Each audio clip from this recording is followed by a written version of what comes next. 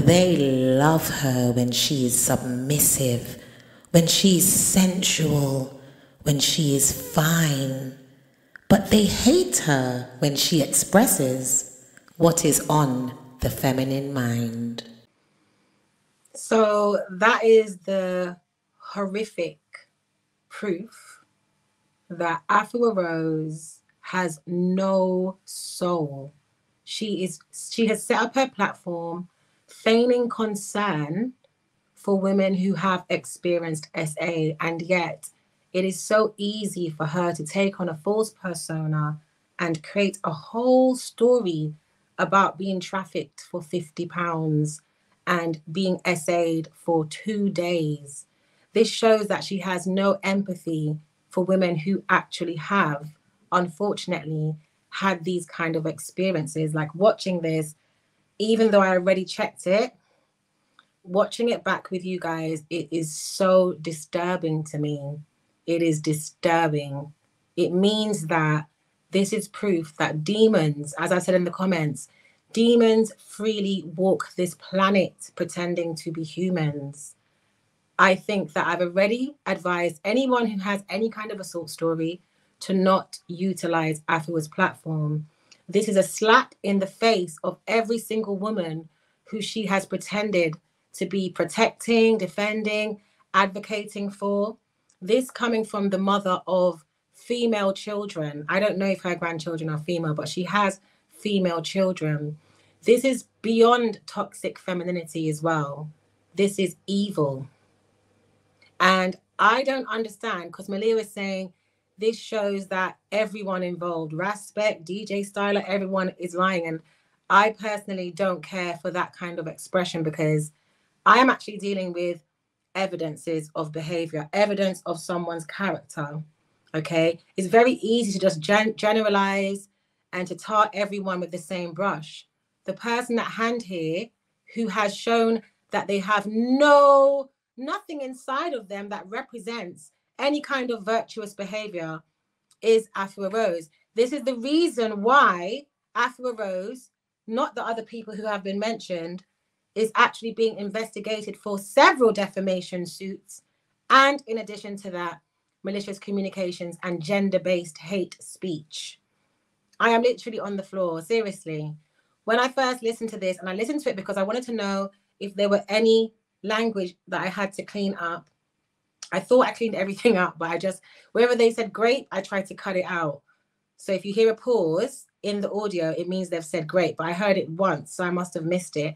But even listening to this, like as a woman, whether I had experienced SA or not, this is terrible. And this is terrible for raising awareness about SA because this does nothing for true victims turned survivors. This does nothing for them.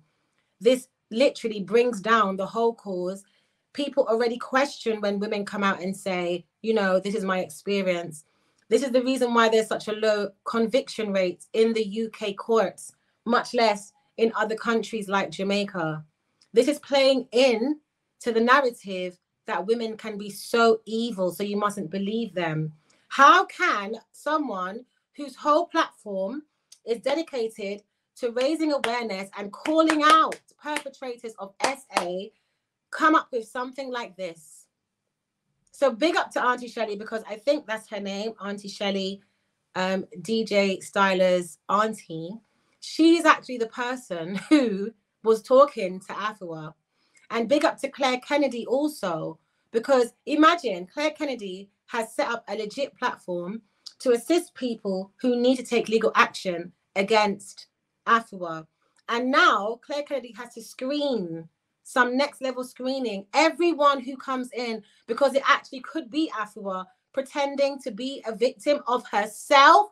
How sick is that? How this woman is absolutely sick. And this is the reason why, you know what I thought? My first thing, this is the reason why Afua, where's my stick? Oh, I don't know what I did with it. This is the reason why Afua cannot see her own grandchildren. Because this is the level of deviance, nastiness, and toxicity that her ex, Vivian, has clearly identified is prevalent within her being. Melanet- Melanatic says, I am in awe. This has deeply affected me. I can't lie. You know what? It's deeply affected me too. It has deeply affected me. It is barbaric. It speaks to this is why we have a situation where genuine people who have genuinely experienced SA and trafficking, she said she was trafficked by herself for 50 pounds for two days. This is the reason why so many women are afraid to speak up because you have devils literally running this kind of spin and propaganda. This is the same person that you would go to and say, Oh, I had this experience. She'd be lying and recreating real stories of women that have come onto her platform and real stories of situations that have happened all over the planet, but she's lying about her own experience. How evil. How evil. And I'm glad to share this because I know that I am creating a catalogue of experiences to showcase who Afua Rose truly is. But I must say, I didn't want to share this. I didn't, I had a whole, I had two videos set up for today because when I did the last uh, review of Afua Rose with DJ Substance and Jerome, after I finished the live, someone got in contact with me and said, No, you need to play the video at the end of that video. So I created two different cuts. I was going to play one video at the end of that video, and then I was going to play the actual video that got Afua in trouble when she started to attack Stylogy for being a woman who is transitioning as a transgender woman into a man. That is actually what I was going to play today. I had it all prepped up. And then over the weekend, this was sent to me.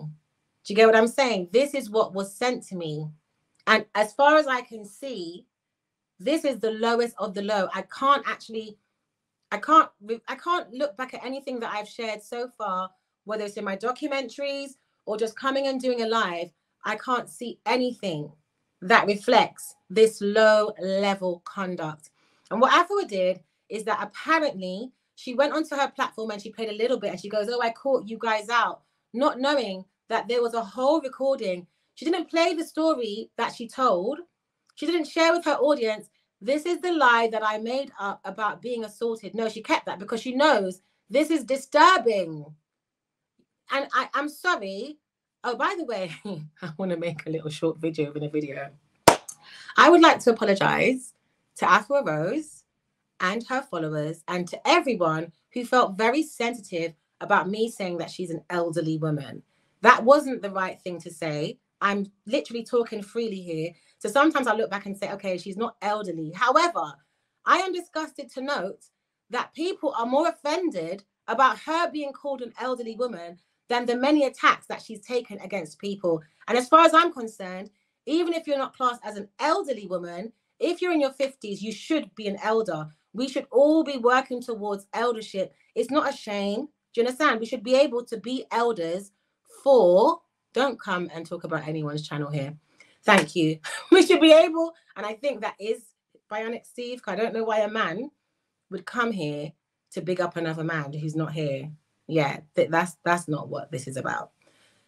You care more about those things, and I realize this is what's going on people only care when they or the people who they are close to or who they care about are affected. Other than that, you're happy to sit down and watch all forms of injustices take place. Okay. So when I said elderly, clearly it triggered a lot of people who are in the same age bracket who don't consider themselves as elderly, which I also agree. And I said it on both platforms. That probably wasn't the right word. I should shouldn't have said that. However, it is interesting to me that you care more about that than the abuse of women and men that's coming from Afua. And the reason is it's personal to you because you are that age and that's pathetic. Yes, Kool Aid Man, LOL. Yeah, this isn't a free shout out. I don't even know who Bionic Steve is. Okay. Like, so essentially, this is a problem. This is a problem. And I couldn't even have made this up. I, I didn't I didn't even want to share this video on my Facebook page. I had to share it and say, look, I'm so sorry. Trigger warning, trigger warning, guys. But guess what? I believe in equal rights and justice. And this isn't right and it's not just. It's evil. This isn't about whether someone's moral, whether someone is just trying to um, you know, monetize. This is this is deeper than that. This is a woman who is 53 years old, a mother of three to five children, a grandmother of at least two children, maybe three now, okay, who has no problem pretending to be someone else and making allegations about her own self and with ease, because she tells that story with so much ease about being groomed by herself, yeah, about being trafficked by herself in a bid to access confidential details that Claire Kennedy has. Don't you see that that this person needs to be sectioned? This is someone who is mentally unwell. So it's beyond whether it's evil or not, because this shows that something isn't right in the mind of Afua Rose. And this has been showcased for years now. She's not right. She's not right. And it's important when you actually see that people are not functioning with any kind of um, beyond morality, but mental wellness to see it as it is. Growing up in Jamaica, there were so many injustices against women. To this day, all over the Caribbean, I have spoken and worked with women from almost every single island. They had a grandmother who didn't believe when they were, you know, SA. They had a mother who said, oh, they wanted it. It is a harsh and abrasive, traumatic thing to experience and to endure. When I came to the UK, I met so many women, black, white, every single color, every single background. They had been sold out by their female relatives. So, separate to the fact that a man had taken advantage of them, when they went to save people, they were often demonized by those same people. Even in my own family, I have experienced this. I have experienced that. I knew that my brother was someone who was graping women. I told my mother, she didn't want to believe me. And then years later, when I went back to Jamaica, I ran into his ex-girlfriend and she was she was not impressed. Like she was happy to see me, but when I mentioned him, she was not impressed. And she explained to me that he arranged a group grape, a battery against her.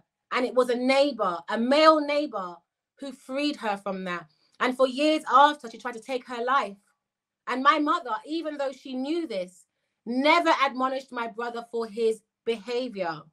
So when women come out and tell their stories, nine times out of 10, even the women that they are closest to do not actually believe them they demonize them, they attack them, and they traumatize them even further. So, someone who is occupying the space that Afua is saying she's occupying, for her to call Claire Kennedy or whoever she thought she was calling, and to actually tell this lie, this this triggering lie, easily recounting experiences that she's never had, lying about that, that shows that she's anti-woman. And I told you already, she is male centered. This is a male centered woman. That's the reason why I saw a clip on Claire Kennedy's page where she was laughing about, you know, she caught them. It was her. She was being a false person. She was pretending to be Shelly McKenzie. And then she says something like, go and get a job or go and get a man to give you a good seeing to. That's because she's male centered. She can't think of anything of value that a woman could be doing that doesn't include a man. I am not that woman. I am not that woman. I, I am not male centered. I do not think that men are essential in my life, point blank. I create, I grow, I do lots of different things. I do not have to have a partner to feel like I'm validated. So even when I am in relationship, that is not the center of my existence. It doesn't make me better in any way. Do you understand what I'm saying? It doesn't it doesn't show anything of value. Afua Rose comes from the same ilk of women that feel that women should be in servitude to men and that women have no true purpose unless unless it's in relation to a man. I don't come from that ilk. I don't believe in that. And that's why it's so easy for her to create such a traumatizing story, even listening to it, even knowing that the story is a lie. It is painful to listen to because it speaks about a gross level of a lack of concern and a lack of true empathy for women. Do you understand? So if this is the woman who is the person who can defend women's rights in regards to the black British community, then that is a dead area. Nothing good can come off of it. And that's the reason why so many negative things have been ha- happening, sorry, on the back of her. Because she's not coming with any integrity, any true care, any true concern. I don't care if DJ Styler is lying, show me the evidence. Do you understand? If Rasbeck is lying, I don't want any speculation. That video was not a speculation. That video was a real live recording. You can tell that it's Afua easily lying about being groomed by a woman who is actually herself. Can you be any more sick in your head? Literally, can you be any more sick?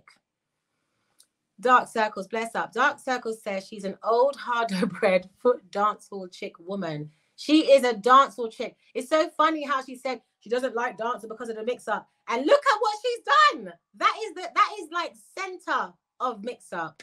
She's looking clout and attention, uh, casing views. Oh, she's looking clout and attention and views. Melanatic says, Do you have the clip? I don't have the clip, but if I play something else, I should be able to go and get it so you can see what she says.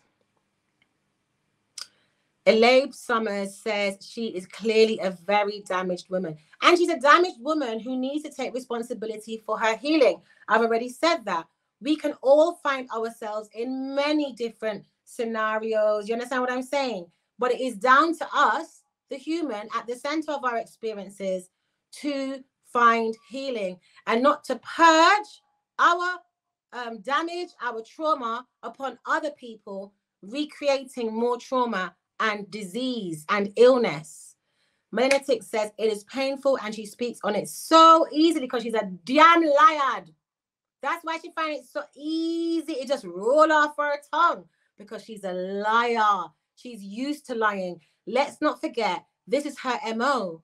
She she she often pretends to be someone else in the same way how she did with her child's father. She was speaking to him for months on WhatsApp and she was pretending to be another woman just so she could orchestrate a meeting where she was going to scream at him, you know, attack him and film it and put it online. So we are we know now that this isn't that, that wasn't a one-off. This is something that Afua does with ease, which is pretending to be somebody else. Lick a demon. Hi, Caitlin. Caitlin says I'm new here. Welcome, welcome. Thank you for joining me. I'm Jamaican British. She asked if I'm British because I sound Jamaican. I'm Jamaican British. When I speak Jamaican, I tend to have a, a speak heavy patois.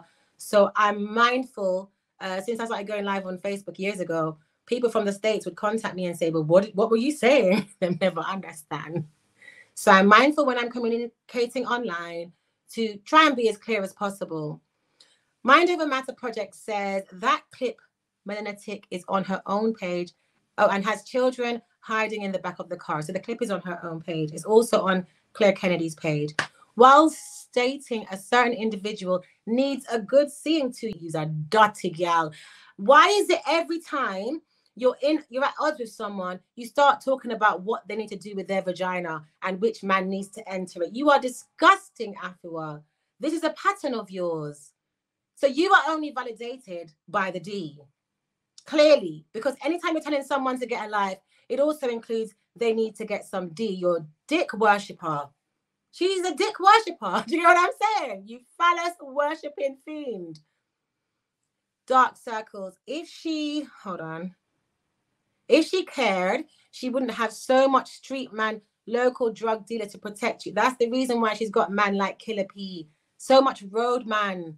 Men who have even not only done time for assaulting women, but have been accused about SAing other women. She literally has her mob, even including LB, is filled with criminals, it's, it's filled with fiends or former recovered fiends. It's filled with people who literally live in the underworld. So that means she's also a part of the underworld.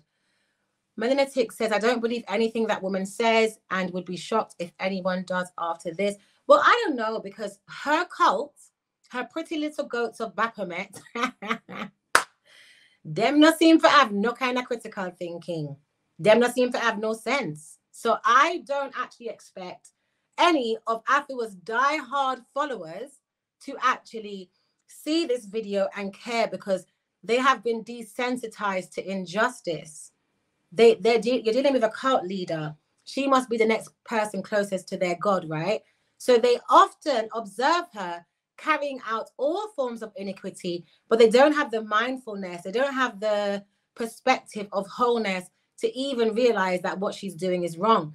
This is more so for the people who don't understand who this character is and to create clear evidence to showcase who this monster who is unfortunately occupying the body of a female. Because this isn't good news for women, just so you know.